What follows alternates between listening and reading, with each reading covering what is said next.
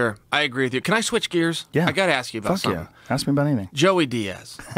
Tell me everything. How did you meet Joey Diaz? Because I because then I want you to ask me this. I want you to ask me what my experience with Joey. But how did you meet him? How did he come into the fold? I met Joey Diaz in the late 90s uh, at the comedy store. I think I met him in like 96 or 97, something like that. Uh, right when Joey moved to LA, we just started hanging around the comedy store. We became friends. And then uh, I started taking him on the road with me, like uh, the late 90s. Okay. And we've been best friends forever. So I know of Joey. I don't know Joey. I've never met him. You never I've- met Joey? Never. I've call him up right now. TV and the whole bit, and you know, I know him from You from you, and I see your podcast and all that. But and he's in the circles. He does some jujitsu. and He's funnier than hell, and he's a gangster, so I like him. But I don't know anything about him. So he comes on my podcast. Now he has a podcast, so of course my opening line to him is, "Hey, how'd you get into podcast?" Right? I'm going to put uh, he's here's your plug for your podcast, and we're going to go on and talk about my agenda. So I say, Joe, I say to him, Joey, how'd you get into podcasting? His response. You know, Chael Sonnen, he wouldn't call me Chael. It was always, Ch- you know Yeah. what, Chael He still calls me Joe Rogan.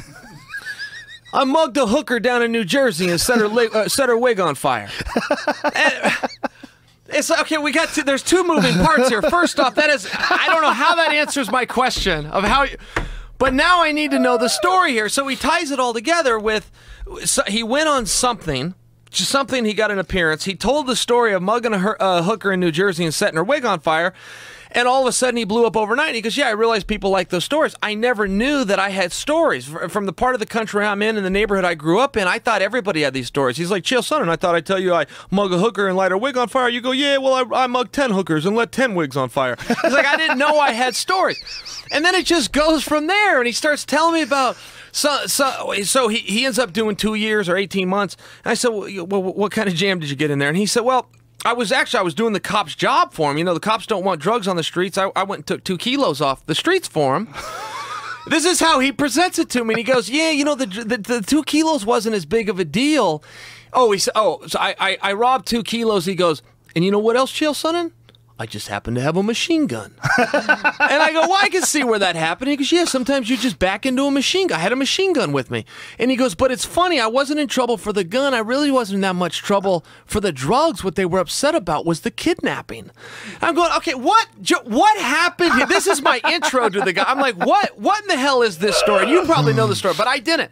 So he tells me the whole story, and he says, "Yeah, but you know, kidnapping's kind of a weird charge because when you and Wanderlei got in that scuffle in the Ultimate Fighter, if I come and grab you and I take you into the next room just to cool you down, taking you into a room against your that's kidnapping. So I think like they got him on a technicality jam, like what they're doing with Frank Mir, or some of these guys we're talking about." And I said, Oh, okay, is that what happened? And he goes, No, I, I duct taped the guy. He was in my trunk, and then I held him in the house for a week before I let him go. I'm like, Well, then why did you tell me? Why did you bring up the initial example of taking me next door and cooling me down? What'd that have to do? I still don't know. Because he's crazy. It's funnier than hell. And I asked, Yeah. so I was trying to talk like some. See, I try to do more of a Joe Rogan experience. You're you're my idol. I try to do my show the way you do yours, but I'm not there yet. It takes a while to build that audience. So I got to stick on MMA and pro wrestling. I got to really stay in, but I don't want that. I want just I want to just talk. Well, you could just talk. You, you definitely could just talk. Well, as I bring these guys in, I'm trying to do a little more of that. I go to TMZ, I see the local stuff, I try to ask them pop culture questions. So I dip my toe in politics with Joey. Obama had just made this new rule of going in any bathroom you want. So I asked Joey about that, and he goes, Chael Sonnen, and I've been taking a dump in the woman's bathroom since I'm five years old. and believe me, I have dealt with the consequences. And- Right. And- but he wasn't kidding, Joe. That's what's so funny, man. This guy, it's a shoot. He's being real, and he tells me because yeah, it's well, a you know, shoot. He is pro wrestling. yeah. He goes, well, my mom used to own a restaurant, so you know, I, I kind of had I cleaned the bath, then I'd sit down in the women's. He goes, you know what happens if you drop you drop your coke on a men's bathroom floor? No, I don't know. Joe. I don't do coke. What? and he, like I've tested positive for everything in the world, but coke wasn't one of them. And he says, you leave it there. You know what happens if I drop my coke on a women's bathroom floor? You get down and lick it up. That's what he says. Oh. But he's trying to say the women's room's cleaner. He's been using them since he's five years old. And he said, and I have dealt with the consequences, which I knew. I want the answer to what those were. It's just, it's like there's too many other things to talk to this guy. But I got to get back to the hooker with the wig that he mugged. I've known Joey So for I was busy. 20 years, and he's never stopped running out of stories. And they're all real. Yeah. Like people, his his life is so fucking crazy that people go, oh, that guy just comes on your show and makes stuff up. That's what people used to say when I used to have him on.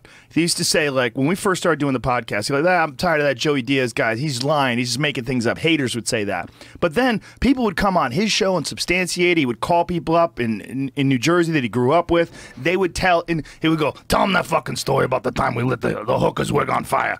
And then they would tell the same story. Like he's lived a movie. Like Right. his not a movie, like an epic adventure series of novels. Like his life is insane. Well, to qualify, so he, he tells this story about uh, robbing this guy with a machine gun that he Yeah. just happened to have, taking the two kilos off the street, doing the cop's job for him, but then having the guy in his trunk duct tape before he moved him to the house before he let him go. He had that guy on his podcast. Yes. He found him on social media, tried to friend him or like him or whatever you call it on Facebook. I'm a Twitter guy, but this was Facebook. Guy ignored him for about two years and finally responded. Now, Joey's had him on his podcast. He says we catch up about once a month. and he goes, Yeah, and the guy was good people. He never turned me in. He said it was the, it was my partner in the whole thing. The partner tried to double cross me. We stole the coke, then he was going to steal it from me. But I knew what time it was. now that's an expression I'd never heard before, but I plan to take with me through through my next years in life. Whenever when, whenever you, I knew what time it was. I just thought that was a great line. The whole thing was great. I asked him about the gorilla. The gorilla had just got shot where they killed him at the zoo. Yeah.